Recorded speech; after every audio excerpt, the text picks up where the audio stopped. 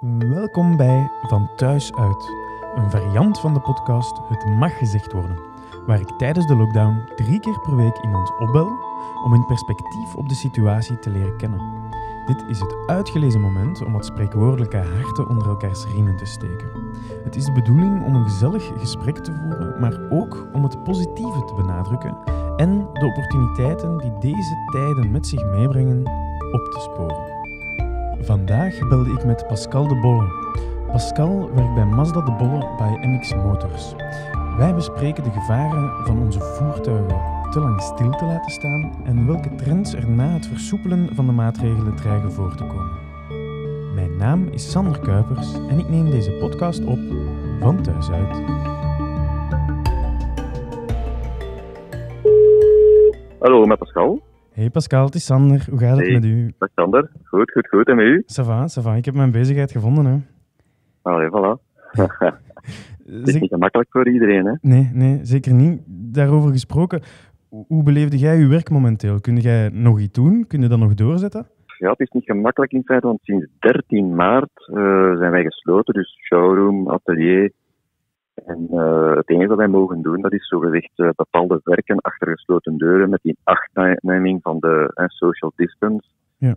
Eh, om eventueel aan mensen die dus een platte batterij, een band die lek is of zo, of echt iets dat ze die auto niet meer kunnen gebruiken. Ja. Maar dus gewone onderhouden of wielenwissels, winterwielen en zo, mogen we niet doen. Nee, oké. Dat is allemaal, allemaal gestopt.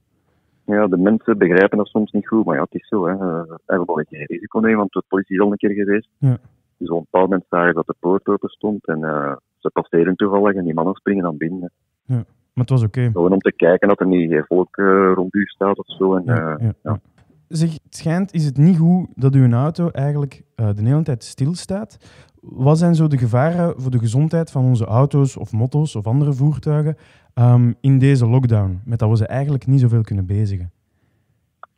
Maar ja, in hoofdzaak nu zijn dat de batterijen. Hè. Ja. Een wagen die nu al weken stilstaat, eh, zeker als de batterij al wel iets van leeftijd heeft, Mhm. dan riskeer je natuurlijk na een tijd, als je dan wilt starten, dat ze plat is en dan ja. Dan is de dikwijls ook gewoon uh, ofwel opstarten met een startbatterij. Ja. Maar in sommige gevallen, ik heb het vorige week nog meegemaakt, eh, de batterij was vijf jaar, zes jaar oud, de wagen had vier weken stilgestaan. En als die batterij dan echt diep ontladen is, dan heb je het risico dat ze ook gewoon kapot is. Oké. Dus Ja. als het niet voldoende is ze op te laden, is het gewoon vervangen. Oké, Zijn, zijn er nog dingen die de, die de auto's kunnen, kunnen voorhebben met lang stilstaan? Goh, handremmen bijvoorbeeld, misschien nu is dat minder, omdat het de laatste weken toch niet meer geregend heeft. Ja. Want ik was een wagen die dus gewoon op, op de parking staat of, of bij u thuis met een handrem aangetrokken. Daar komt altijd op de remschijven uh, zo'n klein voiletje precies, een, een laagje roest in feite. Ja. En soms gebeurt het, de handrem, ja, die staat constant gespannen, dat daar dan die remblokjes plakken. Ja. En dat je dus in het begin kunt hebben dat uh, de wagen ofwel echt blokkeert, dat dat even een schok heeft, ook de eerste honderden meters kunt geluid door een schroevend geluid. Omdat in feite die remblokjes, die remvoering, die, die laag roest in feite moet wegschuren eerst. Ja. Dus dat is dat de mensen dikwijls van panikeren of bellen van ja, ik heb dat voor, zeker in de winter. Nu ja, ik weet niet of iedereen echt zijn auto wekenlang laat stilstaan. Die toch hier en daar een beetje gerij. Ja, je ziet hier en daar een beetje gerij. Uiteraard ook echt veel, veel minder. Uh, want dat, dat ligt ook wel aan die, aan die essentiële verplaatsingen, volgens mij. Maar aangezien die verplaatsingen enkel essentieel mogen zijn, kunnen we ook niet gewoon een, uh, een blokje ommaken om onze auto een keer te bezigen of onze motto nog eens, uh, nog eens te laten draaien. Is er een manier waarop dat, waarvan dat jij zegt, ja, doe het misschien zo of zus? In feite, de meeste mensen gaan toch een keer moeten doen voor eten en zo. Dus in feite pakt op dat moment even je auto. En, en ja, dat is toch meestal voor de meeste mensen toch een aantal kilometers. Ja. Dat hij toch een keer wakker ge geworden is, dat hij gereden heeft. Want het volstaat niet van te zeggen, uh, thuis bij u, ik ga even starten en na vijf minuten terug stilleggen. Nee. Want een batterij, je startmotor pakt meer van je batterij dan dat hem kan opladen op vijf minuten op, op, uh, op ralentiet te draaien. Zo Ja. Dus die moet echt een beetje rijden. Ja. En dan zou ik voorstellen dat de mensen hun, hun, al hun accessoires afzetten, dus geen uh, muziek opzetten, geen uh, radio, dus zo min mogelijk. Ja. Ja, dat een alternator alles geeft aan, aan de batterij. Oké. Maar dus hem starten en vijf minuten daarna stilleggen, zou ik zeker niet doen. Nee, oké. Dus het moet echt wel een beetje rondrijden zijn dan. Hij moet een beetje gereden hebben. Ja. Oké. Jij werkt ook bij Depanage Steps. Ja. Kun, kun je mij zeggen, als er tijdens de crisis, hè, nu bij de lockdown, een ongeval gebeurt of iemand valt in, pallen, in, in pannen, kan die nog geholpen worden? Ja, dat, dat- die mensen worden nog geholpen. Hè. Alleen is het zo, dus ja, je kent het, er moet afstand gehouden worden eh, ten opzichte van de klant. Ja. Er wordt gewerkt met handschoenen aan, eh, een mondmasker. En als de klant mee in de wagen moet, eh, in de vrachtwagen, moet er gezorgd worden dat hij achteraan gaat zitten, dus dat er voldoende afstand is in feite, dat Ja. niet naast u komen zitten. Ja. En natuurlijk is het probleem dat de meeste garages dicht zijn, duurt het ook al een beetje langer. Hè. Dus de wagens kunnen nog wel afgezet worden of wel niet. Hm. En dan staan die gewoon bij ons in het depot tot als, ja, tot als het mag. hè. Oké. Zijn er eh trends? meestal- Ja, zeg maar De meeste panners nu zijn toch de batterijen, dus Ja. daar kunnen de mensen direct mee helpen. Hè. En ehm, wat denk je dat er gaat gebeuren vanaf dat de maatregelen versoepelen en iedereen mag terug eh, in zijn voertuig kruipen? Ik denk dat we veel telefoons gaan krijgen. Eén voor platte batterijen en twee mensen hun onderhoud hebben. Ja. Want nu werken wij als volgt. eh, op de site eh, staat de boodschap dat de mensen kunnen een mail doen indien het dringend is. Ja. Eh, telefoon, antwoordapparaat staat ook op. Dus de meeste mensen bellen dan. Ze horen dan oké, ze gaan naar een bepaald e-mail van ons en dan zeggen ze oké, wat is hier meneer X, ik heb dat probleem. En dan contacteren wij die mensen. We zeggen oké, zet uw wagen af, s morgens, doe de sleutel in een nachtkruis. We gaan zien wat we kunnen doen. En als hem klaar is, dan bellen we die mensen. En dan eh, moeten ze zien als ze hem in de reservesleutel eh, in de wagen komen ophalen. Ja, tot nu toe hebben we al een aantal zaken gehad. Platte batterijen, eh die keer platte banden, kapotte banden. en zo. Dus ja, dan zijn mensen toch geholpen. hè. Nee, maar dat is goed. Is er verder nog een, een laatste boodschap die je de wereld in wilt sturen?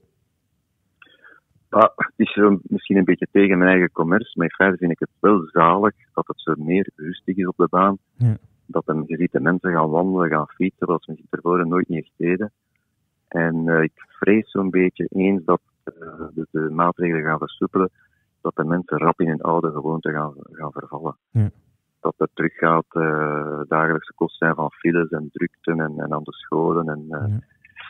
ja, misschien zijn er mensen die nu ontdekken van, tja, ik kan even met de fiets een keer naar, naar de winkel gaan of zo. Ja.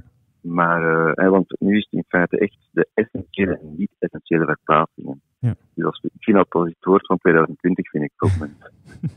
Eh, maar ik weet niet in hoever dat de mensen echt gaan geleerd zijn. Mensen vergeten dat. Ja. En, en qua, qua trends in, in, in thuiswerk, zie je daar niet dat de mensen toch misschien meer gaan zeggen van goh, ik ga misschien toch eerder een dag Dat of twee meer? Ja, dat, ik denk van wel. Want mijn echtgenoten ook, die is ook al, al sinds 13 maart eh, met telewerk bezig. En dus dat gaat in haar branche perfect. Ja. Natuurlijk, ik denk wel dat veel mensen het contact missen van collega's en tasje koffies morgen en een babbelje doen en zo. Hè. Ja, nee, nu maar wordt dat dikwijls wel gedaan met shots en zo, maar dat is niet zo. nee. Nee. een mens is een gewoontedier en een, en een sociaal wezen. Hè. Het is waar. Het zal, eh, het zal afwachten worden. Hè? Ja, ik denk wel dat er misschien toch meer firma's nu, eh, hè, want iedereen is vindingrijk. Ja. En eh, dat er toch veel firma's misschien toch een stuk daar gaan op overschakelen. Misschien x aantal dagen per week of zo. Ja. Hoe die dat willen. En dat zou geen oplossing zijn voor de files ook. Hè. Ja, da- daar hoop ik ook een beetje op eigenlijk. Pascal, merci eh, voor de telefoon op te nemen en mijn vragen te beantwoorden. En, Graag gedaan. en dan, dan hoor ik u binnenkort nog eens. En houd u goed, hè. Ça va, Sander, het gezond. Ja. En keep distance, zoals ze zeggen. Dat is goed, dat zal ik doen. Zeg, salut. Oké, do. Dag Sander. Eh, Zo, dit was hem voor vandaag. Elke maandag, woensdag en vrijdag tijdens de lockdown breng ik een aflevering uit. Je kan deze podcast luisteren op YouTube, Spotify en quasi alle podcast-apps.